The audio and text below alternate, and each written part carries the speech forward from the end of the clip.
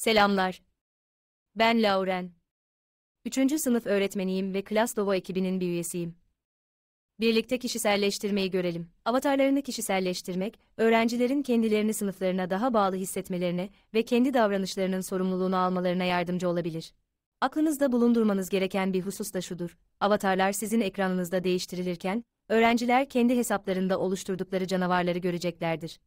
Sınıfın avatarı sadece sizin sınıfınıza özelken öğrencilerin canavarı, Klastovo platformunda hangi sınıfa dahil olurlarsa olsunlar onlarla gider.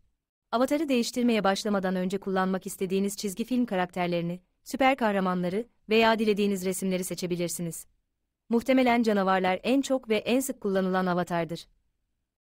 Çocuklar, aslında o kadar da korkunç olmayan canavarlarına uzman tavsiyesi. Avatar resimlerini temalarına göre organize etmek ve kendi klasörlerine kaydetmek, daha sonra onları kolayca bulmanızı sağlayabilir. Kendi sınıfım için ekranımın sağ üst köşesindeki seçenekler yazısına tıklayacağım. Bu bölümden sınıfı düzenle seçeneğine tıklayacağım.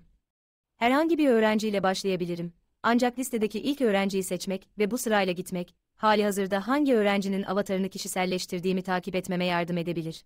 Şimdi öğrencinin mevcut avatarına tıklıyorum. Buradan mavi Klaslovo canavar çubuğuna tıklayabilirim. Bu çubuk, öğrencilerin avatarlarını önceden hazırlanmış Klaslovo Cadılar Bayramı temalı yaratık ve canavar kostümleri arasından seçim yapabilirsiniz. Şimdi daha önceden kaydettiğimiz resimleri yükleyeceğiz. Açılır mavi menüye tekrar tıklayın. Benimkinde halen Cadılar Bayramı yazıyor. Aşağıya kadar kaydırıp yeni set oluştur seçeneğine tıklayın. Daha sonra setinize isim vermeniz istenecek. Süper güçlü sınıfım için süper kahramanlar yükleyeceğim. Avatara isim verdikten sonra canavar seti oluştur butonuna tıklayın. Artık avatarlarımı yükleyebilirim. Canavar yükle seçeneğine, ardından da tara butonuna tıklayacağım. Dokümanlarım şimdi açıldı, böylece fotoğraflarımı kaydettiğim klasörleri seçebilirim. Şimdi kullanmak istediğim ilk fotoğrafı seçebilirim.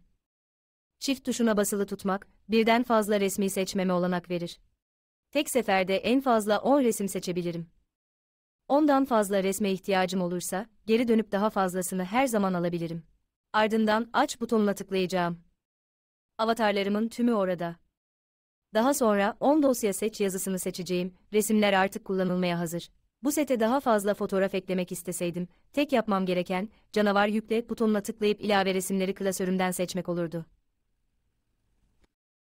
Bu sette bulunmasını istediğim tüm avatarları ekledikten sonra. Şimdi ilk öğrencimin canavarına geri döndüm. Yüklediğim avatarlardan herhangi birini seçebilirim. İstediğim avatarı seçtikten sonra bitti butonuna tıklıyorum. Bu öğrencinin avatarı başarılı bir şekilde değiştirildi. Şimdi de kaydet butonuna tıklayacağım. Geriye kalan diğer öğrencilerimin avatarlarını değiştirmek için sadece onların canavarlarına tıklamam ve süper kahraman setimden yeni bir resim seçmem yeterli. Ardından önce bitti butonuna, daha sonra da kaydet butonuna tıklayacağım.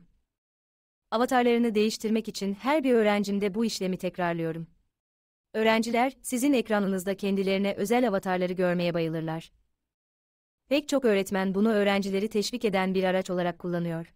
Ayrıca avatar resim setini yükledikten sonra bu resimler, mevcut ve gelecekteki sınıflarınızda kullanılmak üzere hazır bulunur. Umarım siz ve öğrencileriniz, bu özel avatarlarla çok eğlenirsiniz.